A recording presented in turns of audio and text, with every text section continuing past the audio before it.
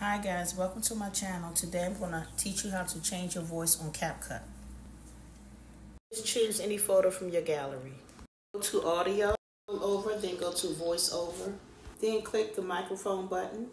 Then let the video go all the way to the end. So the voiceover can record you talking.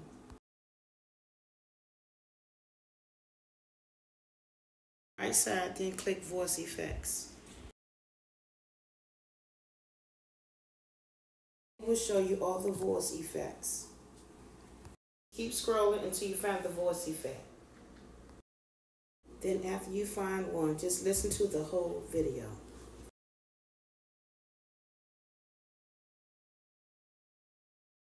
And after you finish, click the, boot, the blue button, then save to device.